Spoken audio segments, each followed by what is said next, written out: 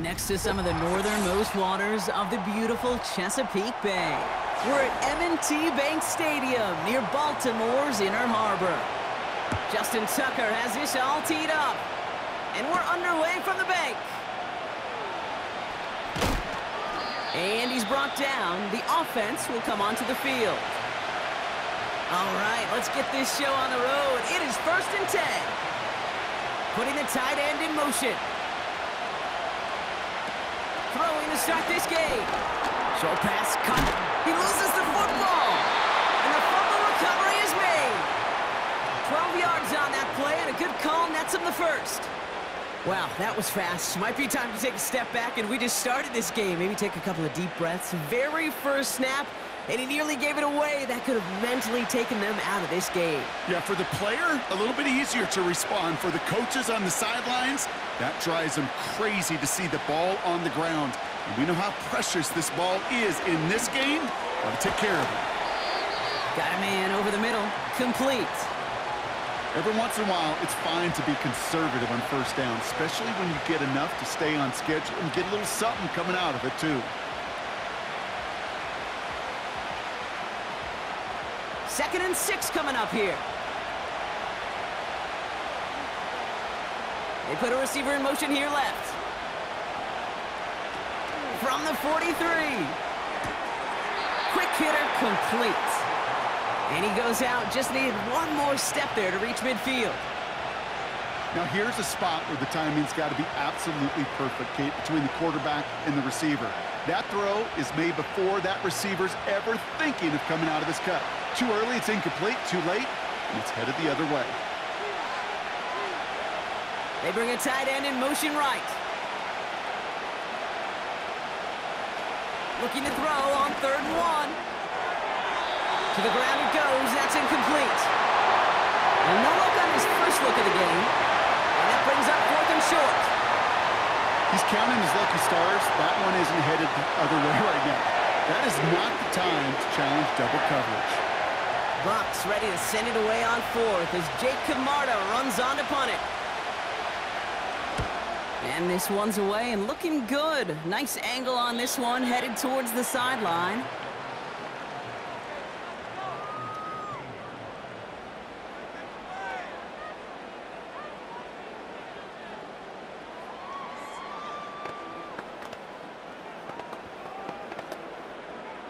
Drive starts out with a first and 10. Now Jackson. Taken in by Henry. And he's caught behind the line for a loss. I know coordinator and quarterback going to be upset with that first down because you call a screen on first, you're thinking stay ahead of schedule. Even a minimal gain to stay on pace, but instead, the defense creates a negative play and sets him back behind the sticks. They'll run now on second down. And he's brought down across the 15 to about the 16-yard line. It's going to be a pickup of about two. That leaves him with third and nine. I think one thing you learn, Kate, when you transition from college to the NFL, not every run is going to be a big play. Some of them, well, they're just destined to end in a minimal gain, and some of them will set up that critical play action for later. They're going to throw it on third and long. He's on the move. They'll make a bid for it. Up. Oh, he loses the football. And the Buccaneers scoop it up. Here's first and 10 from the 34.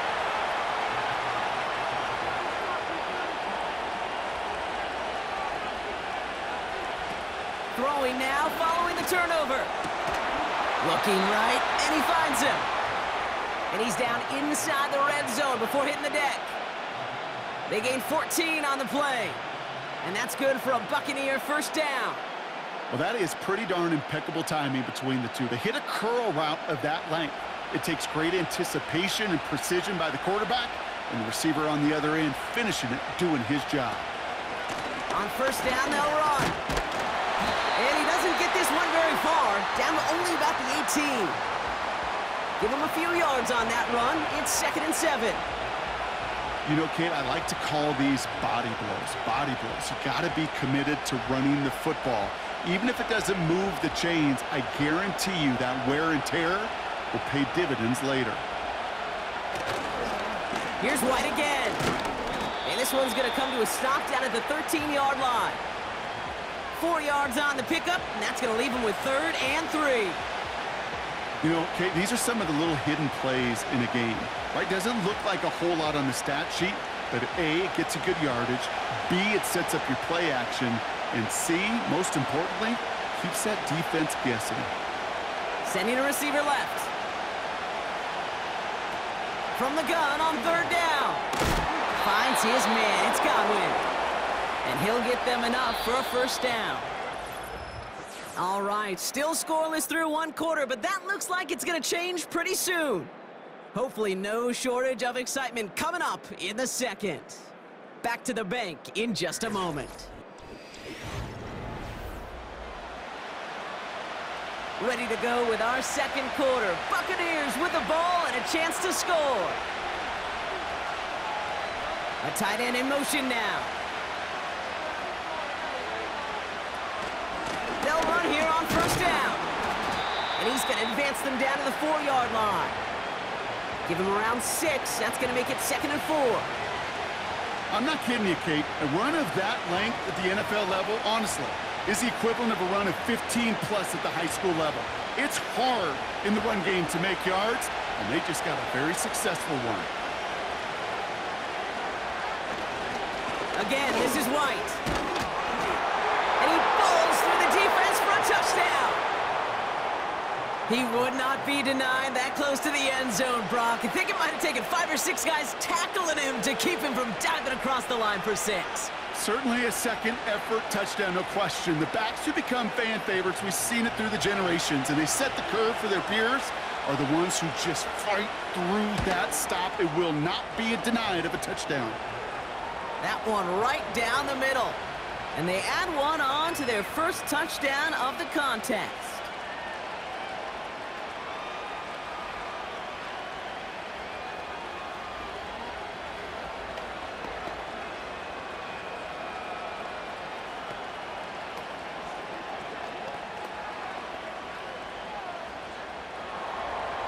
McLaughlin has it on the team, and he's ready to send this flying. Return coming from the six. He's got a lane up past the 30. And he manages the 35 before they can stop him. Now we'll get set to see the Baltimore offense for the second time. Still in search of their first points as we work our way through the middle of this game. The score 7-0. The Ravens in a very good field position as they come up first and 10. Motioning one of the tight ends. Play action on first down. Bails out of the pocket quick. He's going to keep it this time. And he made a bid for midfield there, but stopped on his own side at the 49. He picks up 15 on the play. And that'll be first down, Baltimore.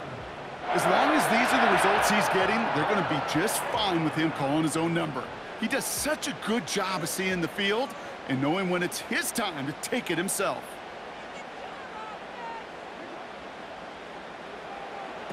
Here's Jackson to throw. That is caught downfield on the right side. That goes as a gain of 25 yards and picks up the first. that is what elite offenses are all about. Why worry about three downs when you need only one? Move the chains in one play and keep driving that defense backwards. All right, set now, first and 10.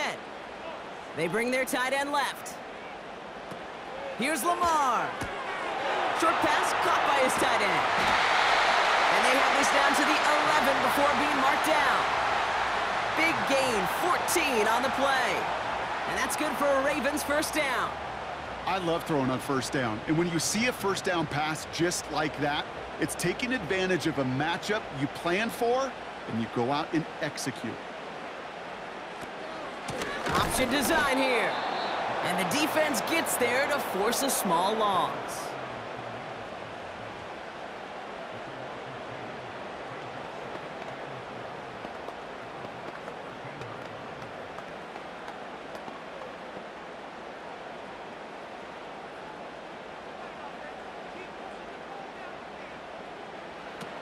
Jackson looking to throw. He brings it in. And they will score. It's a Baltimore touchdown. The Ravens earn the chance to tie before halftime. Mark Andrews with the touchdown. So he looks to and finds the big fella, and his tight end takes it in for six. Such a reliable weapon down in the red zone. You know, kind of reminds me like a point guard making an entry pass to that post player. Mm. When you trust your big people around you, and when a quarterback trusts his tight end like that, it makes a difference.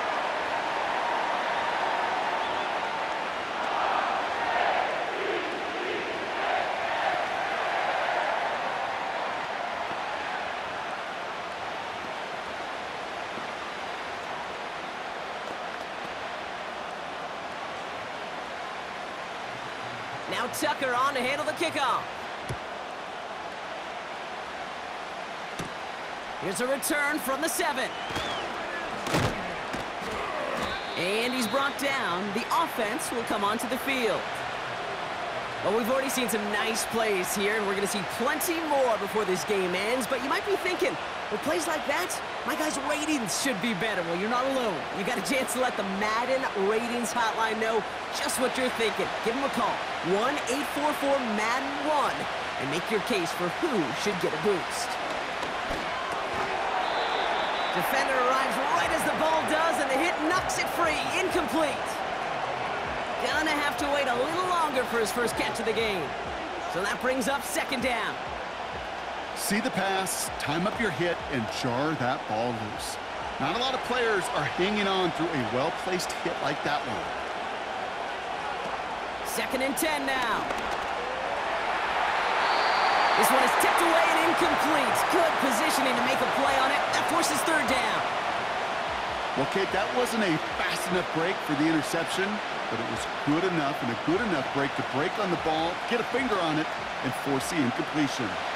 Last pass unsuccessful, and they have third down here. They'll try and pick this up on the ground.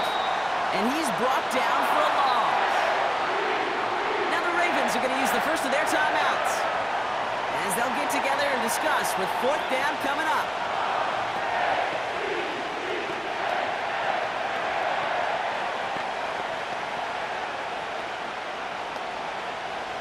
Again comes Jake Camarda to punt this away. And this will be his second effort of the contest. He sends this away, and oh, this is going to be a field flipper. That hits at the nine, but nobody around to grab it. It carries all the way into the end zone for a touchback. We see the Ravens making their way out now. And I think they'd be content doing everything the same as their prior drive and getting another touchdown here. They're out and set, first and 10. Man in motion, headed right. Looking to throw, Jackson. He's got a man left. And he's going to be brought down at the 42. They managed 22 on the rip and a first down. From a great throw to a nice route and catch to moving the chains, there wasn't a whole lot not to like about that amazing play. Clock's still running as the Ravens try hurrying everyone up. Now here's Lamar. Got a man, coverage lost him, complete. And he's going to get past the 40 before he goes out. Big gainer here as he picks up 20. And that'll be first down, Baltimore. They've run this 12-yard out route, Kate, at the Combine, well, all the way back to last century when I had to throw it. In this throw, this is a big boy throw. This is a differentiator. Can you make that deep out throw on time, on rhythm, and accurately? Well, that was teaching tape right there. And he works this to the 38 before going down. Quarterbacks will look for their tight end short in just about any situation. They take away the deeper options, well, there's their consistent source of positive yardage, the trusty tight end. They'll come to the line here, second and nine. They'll throw it again. Finding Flowers. And he's able to get this to the 32 before going down.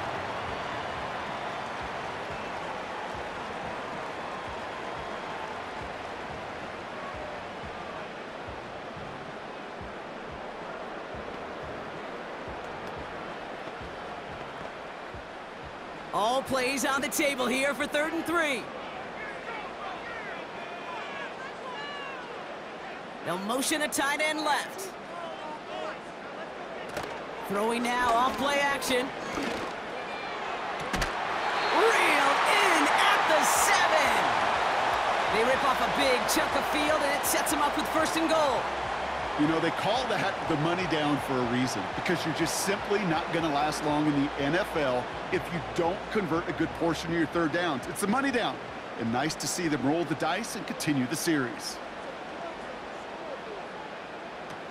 Working inside the red zone. Has it in close. And he's brought down real close to that goal line at the one.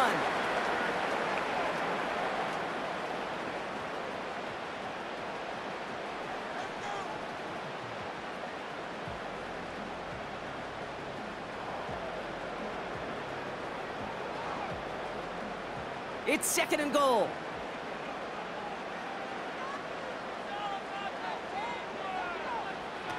Throwing from the gun here. Rolling. And they will score. It's a Baltimore touchdown. The Ravens take the lead just before halftime. It's a Lamar Jackson touchdown. Great play by the QB there, Brock. The play broke down. He didn't have much of a choice other than to escape and improvise. And in the end, turned out to be the best call he could have made. It is such a necessary tool in today's NFL for that QB to put right in his tool belt, Kate. You know, in my day, you could be a blacksmith. Right? You could you just do the job and stay in the pocket. Not anymore. You got to be an artist. And you got to be an artist that can create when things break down. And that's big time to get a touchdown out of it as well.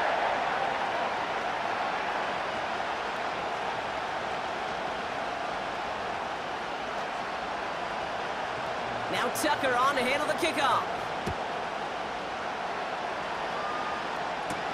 Return coming from the six. He's got a lane up past the 30. And he showed some burst on that return, getting them all the way to their own 40. When you get contributions like that out of your kickoff returner, it is such a boost to an offense. This is about showing no fear, hitting the lane hard, a determined run back, and setting your offense up with great field position. Good starting field position for the Buccaneers. First and 10. To throw, Mayfield. Hauled in by Godwin. It's a pickup of 11. And that's good enough for a Tampa first down. Kid, I can't tell you how good that is. Anticipating the outcut, having the ball on the way before the receiver's head even turns, he puts it on him so that receiver can easily get out of bounds for the nice gain. First and 10 from a yard shy of midfield. Trying to throw here out of the gun. And he has it to the 42 before they make the stop. Timeout taken by the Buccaneers. They're first. They'll have two left to work with before halftime.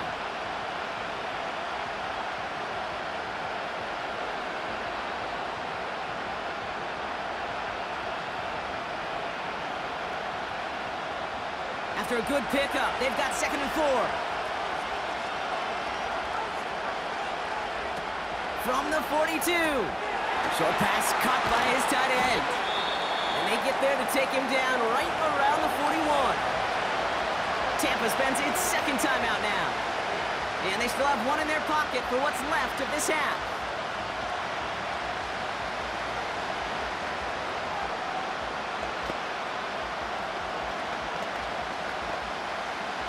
So from a mile away, they'll send out the field goal unit to take a shot at this one.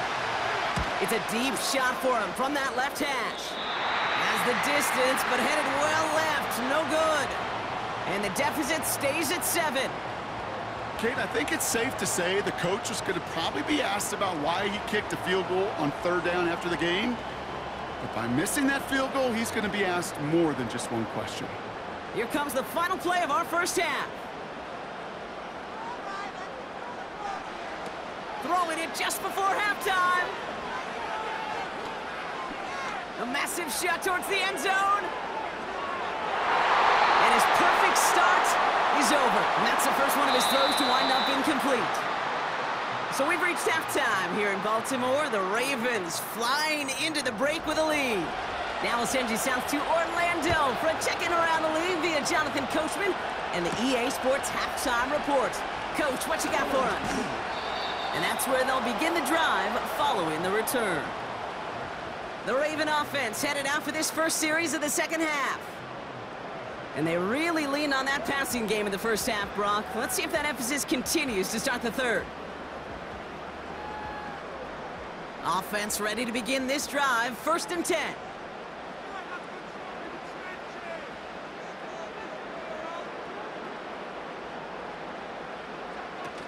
Fakes the handoff, now to throw. Taken in by Likely. And this one doesn't go far. He's just one of those guys, Kate. Even when he's not open, he's still a target thanks to that physicality and his ability to just play bully ball. They don't like forcing into coverage, but sometimes when you got a bully like him that can create space, just find a way to get him the ball. One of the tight ends motioning right. Here we go, second and nine. Tight end reels in the shallow throw. And he's short of the first after a mild gain. The goal of that little drag route is to get him for at least a minimal gain with space to add after that. That picked up a good chunk, and it was nearly a big play. And for the Buccaneers, it's a nickel look, third down coming. Back to throw, here's Jackson. Complete beyond the marker. And he's going to be brought down at the 42. A nine-yard gain and good for a first down. That's what we call situational football. You spend all week working on your nickel passing game package to take advantage of third downs just like that. They'll head up first and 10 from the 42. Handoff headed right to Henry. And he finds his way up to the 47 before he stops. First down play, nets him five. It's going to be second and five.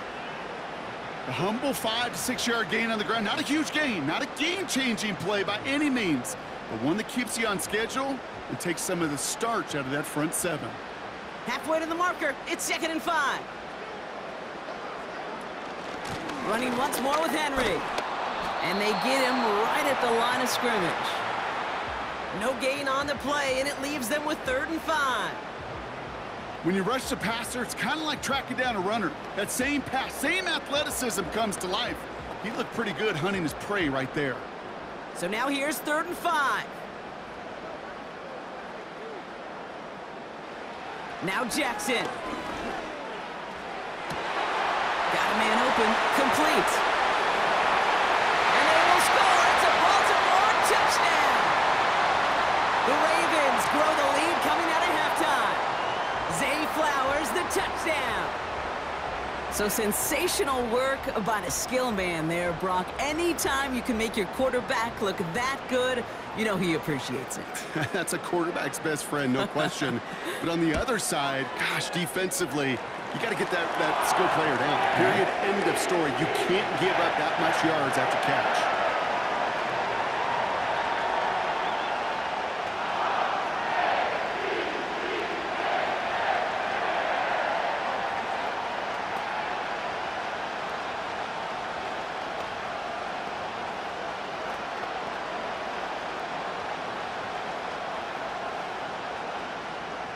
Now Tucker on to handle the kickoff. Return coming from the six. He's got a lane up past the 30. And they finally bring him down after a huge return into their territory. Well, by the time he shifted into a different gear and began that foot race up the left sideline, you could tell this return was already getting out of hand. And what a gift for this offense, who now gets to take over with a lot of the work in the field position already done. They're set up at the 35 now.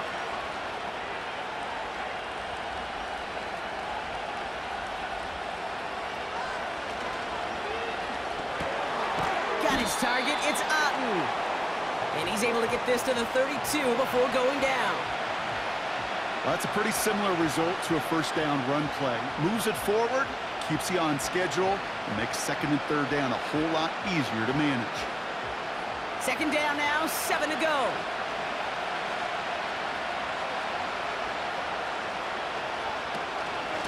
Out of the gun. They'll give it to him inside.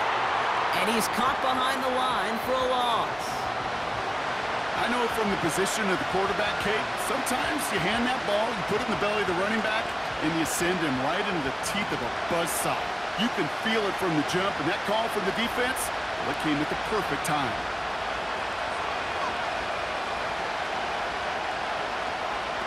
Throw on third down. And he just gets rid of this one, but unfortunately, that means fourth down coming up. So often, so many of these games in the NFL where they come down to a play or two and third downs Whether it's in a close game or already out of hand, the coach wants to see them convert those.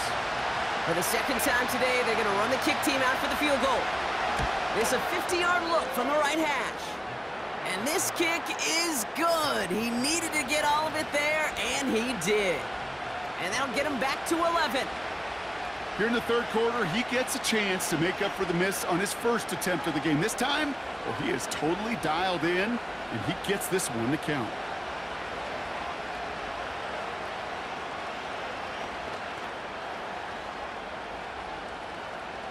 McLaughlin has it on the tee, and he's ready to send this flying. That's going to be taken in at the eight. And he's brought down. The offense will come onto the field. The Ravens trotting out their offense. And that last drive, no answer for what they were doing through the air, so expect some tighter coverage this time around. And the drive will start out with a first and 10.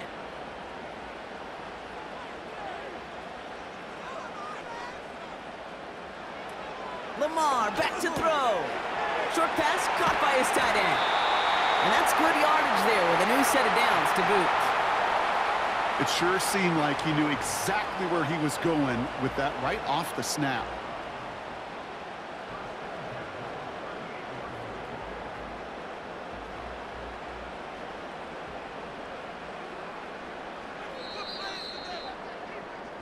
So we hit the end of the third quarter. This one not out of reach quite yet, but it is a two-score game to begin the fourth.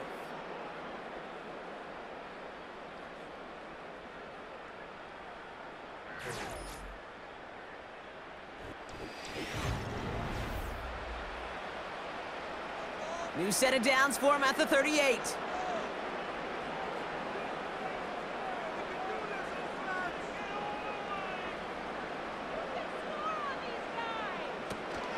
Out of the shotgun, they'll give it to him inside. And he's going to be brought down at the 42. Halfway there on first down, that brings up second and five. Fans love the long ball in baseball. It's like they got the home run derby, but you know what? Talk to managers and they will tell you small ball can win too. Singles and doubles, you add them up, you could win a lot of baseball games. Football coaches will tell you, you get runs of that length, it may not be a home run, it may not score points, but it can do some serious damage. Taps it quick to the receiver coming across. And the defense gets there to force a small loss. Looking for his wide receiver there. And that brings up third down. Well, they shoot the pass to try and bring up third and short via a little more conservative ground call, but it backfired. You know, the defense, they'll look for keys up front, and they fired off the line knowing the run was coming, and boy, they busted it before it could get back to the line. To the air, third and long. We had it for a moment, but a great defensive play to jar it loose, incomplete. I think that was a throw, Kate, that just came a little bit too late. What it did is it gave that defense time to come up and deliver a pop and knock the ball loose before he could secure it fully. The Ravens gonna punt this away, and here's Jordan Stout to handle that boot. Kick is away, and this one might bring rain. Wow, what a kick. And he got a little too much leg into that one. That's a couple yards into the end zone. A missed opportunity, no doubt. This ball's coming out to the 20.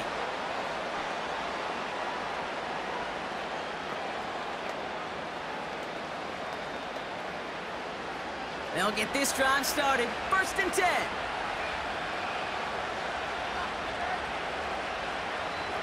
To throw is Mayfield.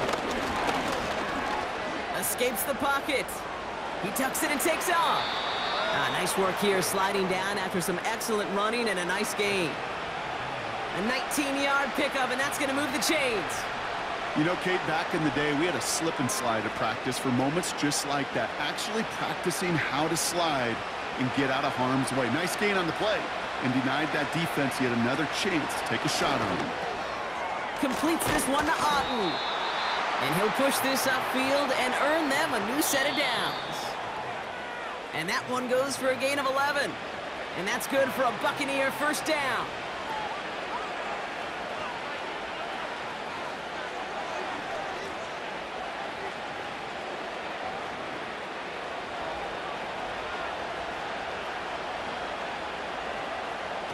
Here's Mayfield. And he'll get this complete to White. And he's got five, and we've got our two-minute warning. I'll tell you this, you don't want to make a living throwing into double coverage, but double coverage and still finding a way to beat the defense and haul it in. That's not a situation many players win, and a lot of quarterbacks willing to make that throw and trust their receiver to get it done. Throwing now. Got a man, coverage lost him, complete. And he'll get this inside the 10 to the 9. Now we're going to get an offensive timeout. So That's their first. And they can take a moment to try to build more momentum after getting that first.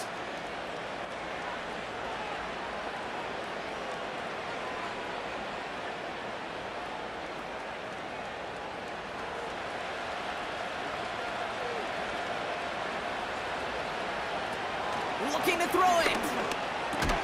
Has it in close. And he's brought down real close to that goal line at the one. That is the epitome of staying on schedule. That kind of completion right there on first down. Well, it opens up the entirety of the playbook for second down. And third and short in your back pocket, you can get even more aggressive and take that shot. Escapes out to the left. Diving for the goal line, and it's not free. And this is going to be a turnover. The defense forces the big play.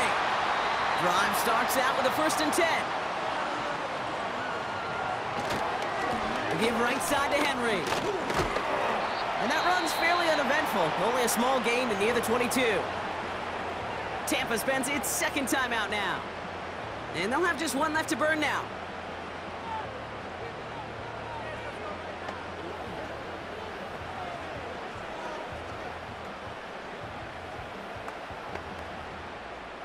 Eight yards to go. Let's see how they approach this second down.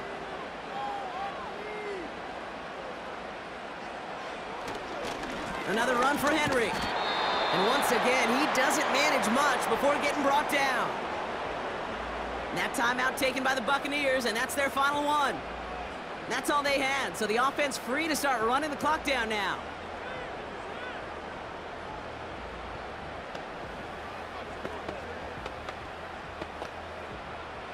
Third and six for them to figure out now.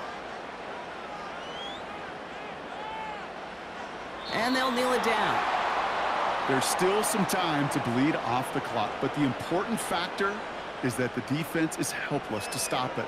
You could just run that clock down as far as you're able and take off every single second. Baltimore lined up in punt formation. And he wants to hit his second effort just as well as he hit his first. Absolutely crushed his first punt, and here's another huge one. He'll field this one at the 23. And they bring him down to put a stop to that return. So it ends as a win for the Ravens.